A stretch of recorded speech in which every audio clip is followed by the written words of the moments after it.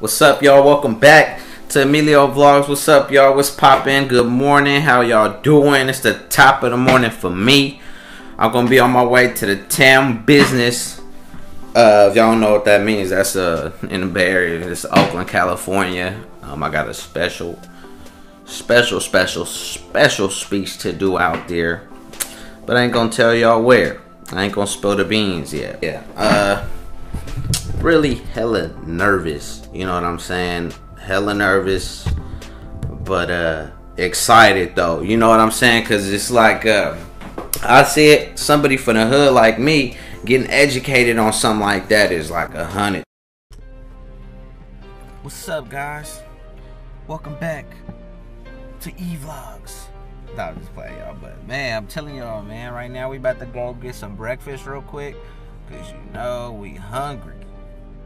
Lil D, what we having to eat? IHOP. I don't want no IHOP. I want something quick. Like, we ain't got time for IHOP. I think we need something like McDonald's drive No, no, no, no, no. That's terrible, huh? Yes. What should we get? IHOP. Uh, that's peach, man. Alright, I'm just gonna crack the beans, man. F it. Samuel Merritt University, man, in the town, man. I'm about to go talk to the students about this healthcare. Okay? About the experience I went through in the hospital to them. Alright? So, yeah. And I feel like that's that's dope. You know what I'm saying? I'm hella happy. I'm hella nervous.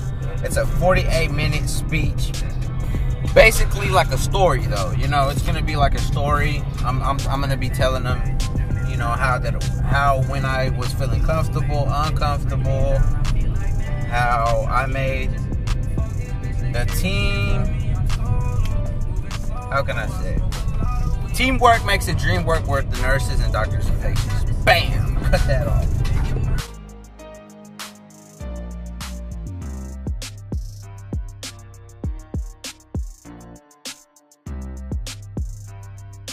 very much believes in, in what we're doing all here.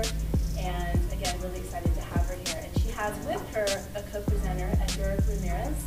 And he's going to tell um, all of you a lot about his experience in the healthcare system.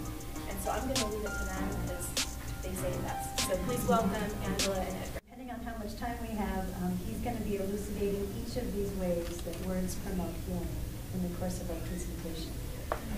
So without further ado, we can get started. And Edgar, if you'd like to begin with the topic of how words and communication style have helped you feel both uncomfortable and comfortable. All right, I'm a little nervous, you guys, to start, but you know, I'm gonna get it done. Well, uncomfortable, I had felt uncomfortable when the doctor was telling me that I had cancer. And she kept telling me that I had cancer. And um, started talking to a lot of doctors and a lot of nurses around, and they were just telling me, kept telling me that I had cancer. I knew I didn't have cancer.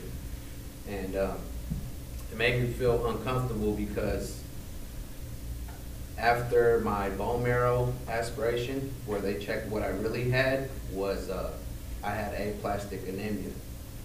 Um, that was a serious blood disorder, also similar like cancer, and um, it, she seemed kind of upset when she told me I didn't have cancer. Um, you know, kind of like a, oh, you don't have cancer, and I told, I had told her, I, I told you I don't got cancer. I told you, and she kind of got mad. You know, kind of like, oh, but it's still serious what you got. So I knew I had some serious also. But um, that's what really made me feel uncomfortable at, at the point, you know, because um, I didn't know nothing about this, you know, so um, that's what made me feel uncomfortable. And, um, you know, um, and then uh, comfortable is uh, when uh, I first got into a, a hospital bed. It was a waiting process at first.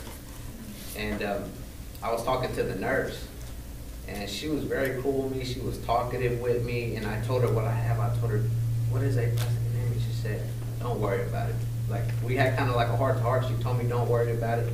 She said, I see a lot of kids, young kids right now, going through this right now, and they get out of here fine. And that's when I kind of felt comfortable. And then